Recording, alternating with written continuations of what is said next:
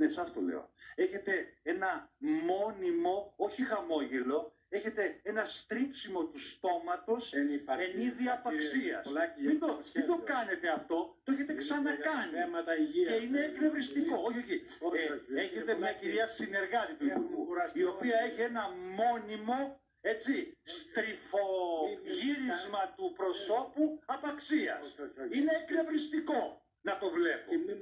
Και μην- Ευχαριστώ για την πάρα ε, πολύ τήρηση κύριε του χρόνου, κύριε Πρόεδρε. Τσιμαρή. Ευχαριστώ κύριε Πρόεδρε. Πριν προχωρήσω θέλω να ζητήσω προσωπικά συγγνώμη από τη συνάδελφο που υπέστη αυτή τη μορφή βίας.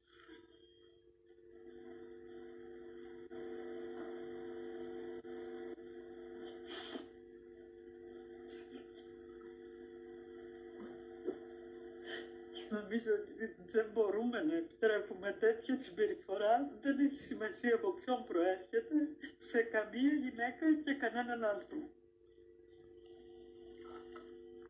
απεχθές αειδιαστικό και απαράδεκτο κρούσμα απαράδεκτη συμπεριφορά συναδέλφου έναντι εργαζομένης έναντι γυναίκας η οποία έκανε τη δουλειά της σε επιτροπή της Βουλής η οποία δέχθηκε έναν καταιγισμό ονειδιστικής και υβριστικής συμπεριφοράς από τον κύριο Παύλο Πολάκη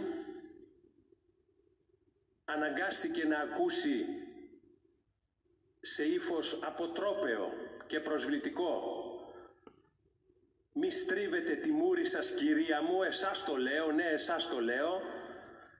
Έχετε ένα μόνιμο στρίψιμο του στόματός σας και διάφορες τέτοιες ερμηνείες της ε, φυσιογνωμίας της οι οποίες απάδουν της οποιασδήποτε συμπεριφοράς.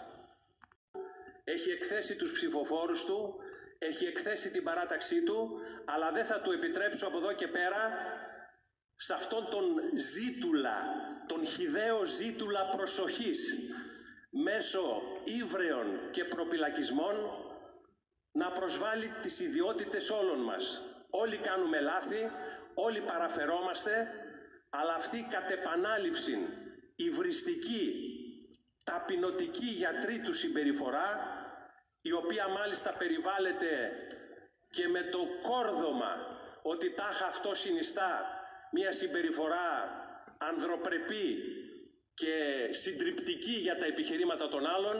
Είμαστε τέτοιες επαναληπτικές χιδαίες συμπεριφορές συνεπάγεται την περικοπή του μισού μισθού του. Ζητώ λοιπόν την έγκρισή σας για την απεύθυνση μομφής και την περικοπή του μισού μισθού του. Και αν συνεχίσει με αυτή την συμπεριφορά, να είναι βέβαιος ότι με διαδοχικές αποφάσεις μας θα βοηθήσει πολύ με αυτή του τη χειδαιότητα τα οικονομικά της χώρας.